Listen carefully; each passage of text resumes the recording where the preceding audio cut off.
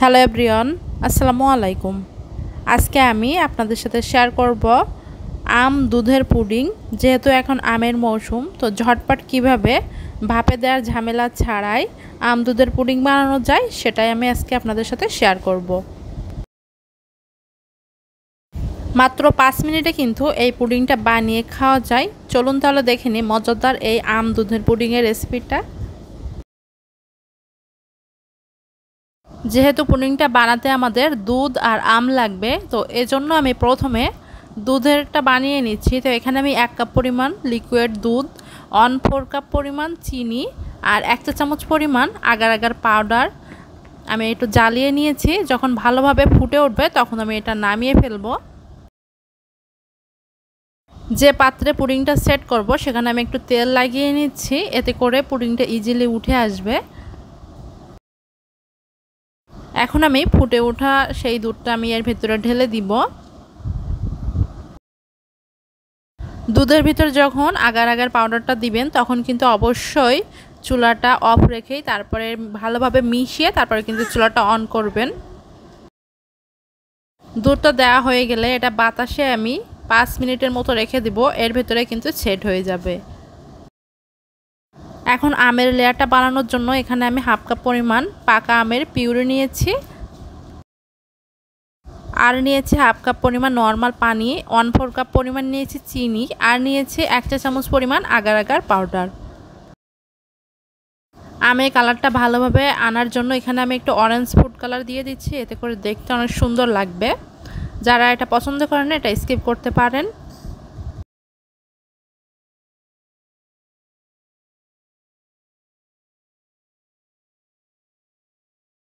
দুধের মিশ্রণটা যখন সেট হয়ে যাবে, তখনই কিন্তু আমের এই মিশ্রণটা বানিয়ে নিতে হবে।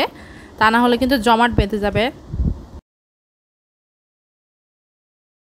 এখানে দুধের পুডিংটা কিন্তু সেট হয়ে গেছে। এখন আমি আমের মিশ্রণটা ঢেলে দিব। আর এ পর্যায়ে কিন্তু দুধের পুডিংটা একটু হালকা গরম থাকবে। এটা আসলে কোনো সমস্যা না। তো আমি এটা দিয়ে আবারও বাতাসে রেখে দিব।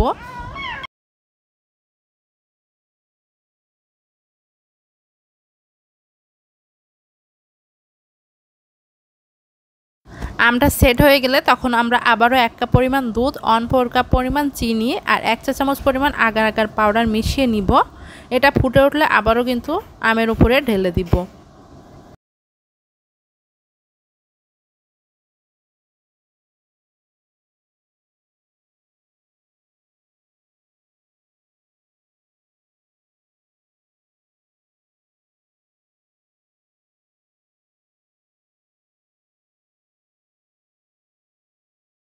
এভাবে করে কিন্তু আমি আম দুধের লেয়ার পুডিংটা করে নিব।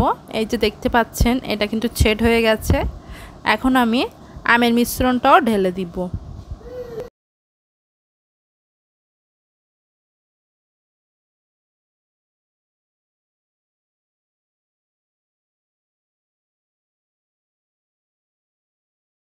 যারা আমার চ্যানেলটা এখনও সাবস্ক্রাইব করেননি, অবশ্যই সাবস্ক্রাইব করবেন। পাশে থাকা ছোট্ট বেল আইকনটা ক্লিক করবেন।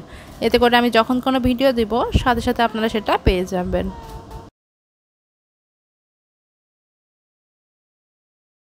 এখন এই আমেরটা আমি সেট করে এক ঘণ্টা নর্মাল ফ্রিজে রেখে দেব। এতে করে আর ভালোভাবে সেট হয়ে যাবে।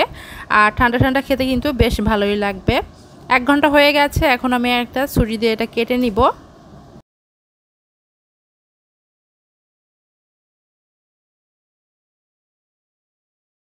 আশা করছি আমার এই রেসিপিটা আপনাদের কাছে ভালো লেগেছে।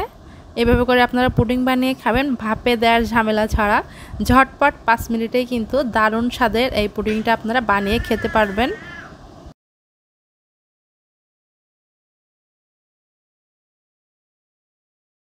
অনেক মজাদার এই পুডিংটা, যারা এখনও একবার ট্রাই করেনি অবশ্যই কিন্তু ট্রাই করবেন। আশা করব আপনাদের কাছেও ভালো লাগবে। ভিডিওটা ভালো লাগলে কিন্তু অবশ্যই লাইক করবেন কমেন্ট করবেন ফ্রেন্ডস অ্যান্ড ফ্যামিলির সাথেও শেয়ার করবেন। আজকের মতো এখানে বিদায় নিচ্ছি। সবাই ভালো থাকবেন, সুস্থ থাকবেন, আমাদের জন্য দোয়া করবেন। আল্লাহ হাফেজ।